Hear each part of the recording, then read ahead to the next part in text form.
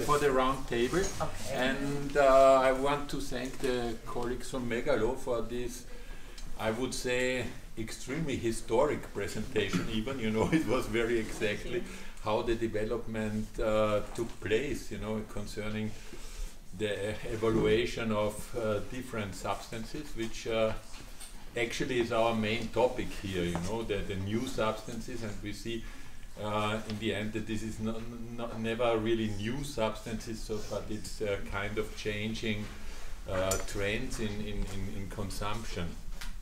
And uh, for our project, we also need the European perspective, and I think what you just presented, the Hungarian perspective, is very special concerning um, these uh, trends in the drug consumption. And I think what was the uh, the main issue is that um, uh, a, a, kind of new uh, system of consumption, you know, changed and developed in, in, in, in very short time. It was also a question of availability of drugs. So traditional drugs were changed to, to, to other drugs who also involved from a middle class into the marginalized uh, uh, group which has a high vulnerability, vulnerability in the end. And the question is what we should discuss afterwards, which what is uh, our topic also. What, how, what does this mean for your work here? For uh, our topic today is the low threshold, the harm reduction. What did it mean for for the for the strategies? You know, did this change at this time? Uh, how did you react? We heard that there was a problem in the needle exchange program and the idea of the safe consumption rooms, which makes sense and exists somewhere and somewhere not. So we should discuss also if what strategies on the harm reduction, low threshold side are uh, applicable, are uh, relevant for, for this development.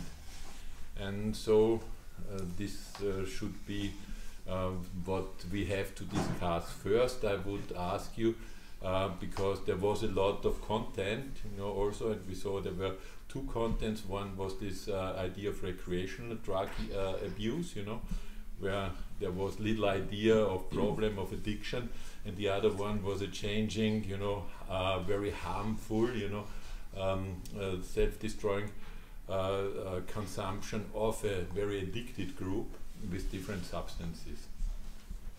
So, just to begin, please uh, I would ask you to bring your comments to the Hungarian colleagues for this representation. Yes, who would give an input? Very interesting to reflect the society side as well, not only the people who are consuming, also the other side, because we saw um, how they are living there or consuming their drugs and what impact they have on the society, but not the other way around. And um, also the we saw very suffering people a lot of times who use drugs and we saw the suffering and um, to me it would be interesting what is the background of the people because it's a very small amount of them and what other people also consuming these drugs and what conditions are in society that these new drugs uh, rise and um, have been developing yeah that would be a question for me. Thanks for the presentation. It was, uh, I put here, very realistic based uh, um, information. I think uh, in every our countries we have more or same the same reality, but here more impressive. Um, and um, the numbers that you can combine and what we see in the videos shows that uh, this is a real problem in our societies. And my question now is for treatment, uh, the, the, treatment side, is how to deal with this new situation. Because for me, with this new, uh, new substances abuse or use, uh, the question is more, we are in the level of the treatment, uh, medical treatment, not yet in the, uh, in what concerns in Portugal, not uh, the other level in uh, psychological treatment. So, what kind of um, approaches we can do to treat better this this kind of people? Uh, the social workers and with the others because they are so margina- marginalized all the time who are using this new kind of drugs. And here in Hungary now there are very little circle, like I said, because the um, the net users, the um, the party users are not showing up in in this level like in our house. Yeah, I think the solution is to work together with psychologists, psy- psychiatrics, and uh, social workers, and take care about the mental health, and find out which kind of issues lead them there. So maybe from the childhood This was all here in Budapest, as I Oh, understood. it, and, it wasn't also your organization, how, how it affected this. Yeah. Okay, uh, so uh, we haven't got the needle exchange. Uh, so it wasn't our business. It was a business of another uh, NGO named Blue Mhm. Point Recovery. They had this uh, needle exchange in this district, and there was a few around Budapest, but now there are just two. Two of them. One is a mobile exchange. They are going with uh, buses to give needles to the people, and there is another in the Buda side. So um, it um, it wasn't our business. Uh, in our strategy, we try to uh, give some treatment to these people, but really we couldn't because um, they were so. Uh, nem tudom, hogy hogy van ez, hogy, hogy nagyon gyorsan. De hogy nem, nem, Kipotyognak? nem tudom ezt. így- megmaradni, max alacsony. They drop out. they just dropped out, so we couldn't do nothing really. Uh, there are some clients who are just coming to the house and uh, they spend uh, sometimes here in this house, and we try to involve them to the house because in the streets and in the in the society they are just being trash. So the other peoples are looking to them like uh, trash, you know. In these days, in these years, but the government uh, wanted to just cleaning out from the district these people they were just uh, wanted to clean out the whole place because it wasn't very good to see in the streets these problems And did, did this, uh, how, what, what was the effect? did the drug scene leave the, the, the public space and, and went back to the houses? Uh, Peter said, uh, like before, you know, the, the typical heroin uh, addict, you know, who, who would buy the drug, go home and inject at home and not 15 times uh, in the park, you know, and, and maybe leave the needles there. So, um, did, did this work? Did, did, did the public space uh, get, uh, you know, uh, did you get these people in another surrounding or, or how, how, did so it so develop? so so because most of them became homeless Mhm. uh, and they were uh, moving to segregated uh, villages or segregated places like the Hirsch Street, what I Mhm. said. They just moved to junky flats, or they were just sitting at home if they had, maybe not, I don't know. They became homeless, usually. But they, they, they kind of gathered. It's like I remember once I was in Vancouver and where they had big the consumption rooms and around the consumption rooms there were only junkies living, you know, Yeah. and people with dual diagnosis and so this was a kind of part of a ghetto, you know, yeah, uh, yeah. which nobody would, would want to live else want to live. Uh, Did it develop similar or, or No, no, no. i it's forbidden in Hungary. Mhm. So everything which connecting with drug using and which is connecting with uh, harm reduction is uh, forbidden. Mhm. So the problem is that that uh, you have these passes with needle exchange, but the harm reduction approach now is, is forbidden, and so yeah. so it's a problem more of uh, homeless care, you know, where Yeah. people maybe are overburdened, you know, with, Yeah. with this situation Yeah. because we heard about the aggression and Yeah. the psychosis That's and true. this. Yeah. In, in Tübingen, we took an article about that topic, if uh, you can remember, on TPM uh, meeting, and it uh, was written that yeah, uh, many homeless people has uh, have this problem, and Utcafront and another um, uh, organization here in Bu- Budapest who uh, are dealing with uh, homeless people Mhm. uh, do mishandling and uh, the connection uh, between organizations is very important because of this Mhm. situation. And uh, there was another part of the user s who wasn't 18 at this age. So they had to live at home with the parents if they had.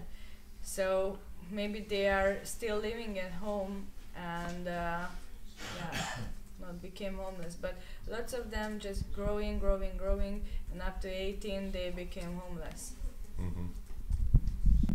and there are a few we had a few addicts um, who were addicted to spice or um, to some kind of amphetamines um, and they some of them they also said it's um, it's cheaper it's um, it's really easy available you don't have to go to the like the old drug scene like to buy your heroin um, you just can order it um, legally. You can order it, um, and the postman is coming and delivering at home. So it's like ordering it at Amazon, and it's it's cheaper. It's easier available.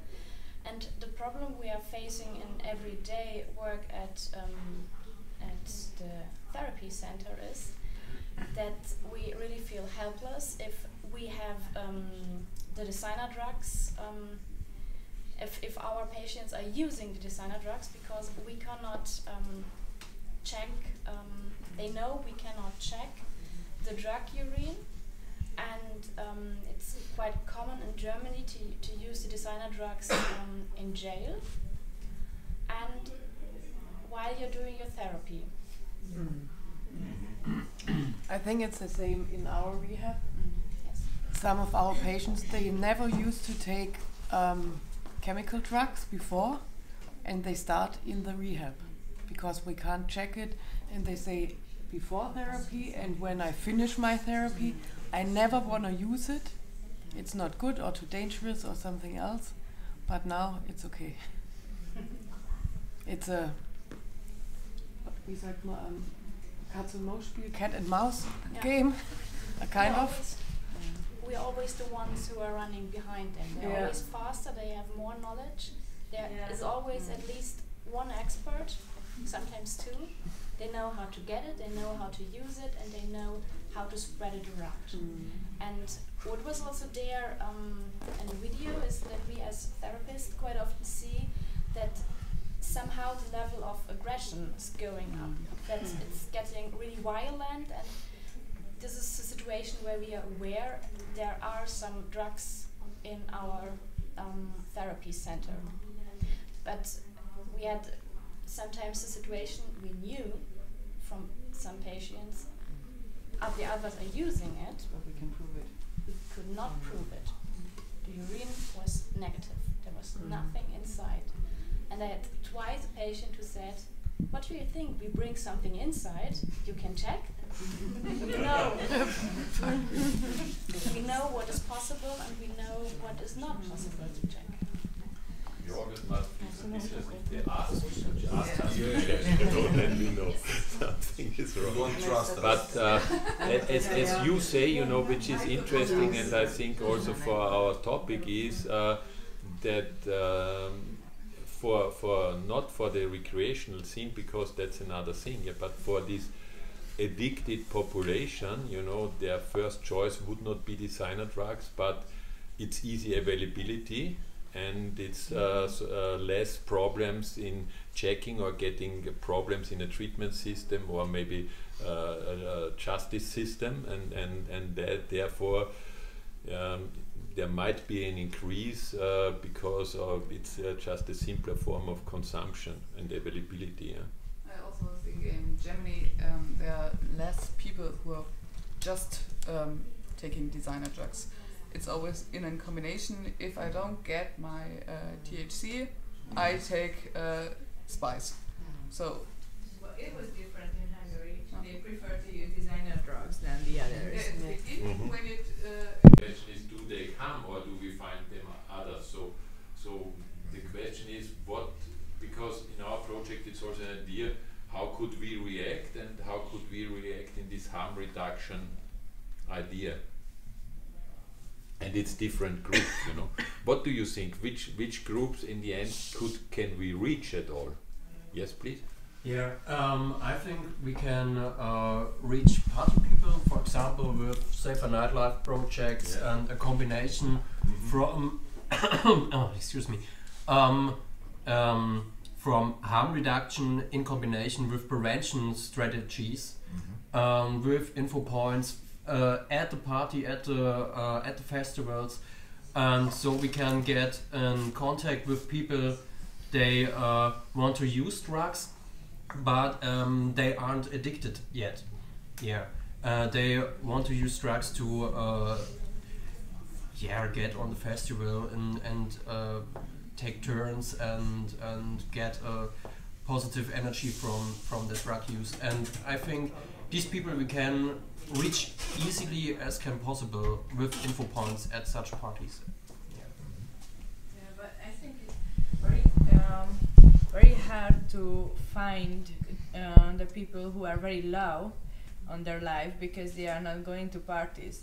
They are just using in their own, in their home Yeah, or but in now the we're talking about the party. We're Yeah, yeah, talking okay, about this group. Uh, this is now measures, uh, as you said, for these party uh, recreational users. You know. Yeah. And as I understood, you say you said that here are measures uh, for uh, safer uh, uh, nightlife and info points at, at these parties. Uh, I mean, you mentioned these big Sziget or Balaton festivals, Yeah, yeah, you know, and the question is, uh, these these would be the, the like main events in Europe, the Sziget, you know, um, what what um, harm reduction or tr- low threshold measures would be there, and this would concern mainly this party people group, you know. So, uh, what could we Uh, say? Maybe Dirk, you could take notes for for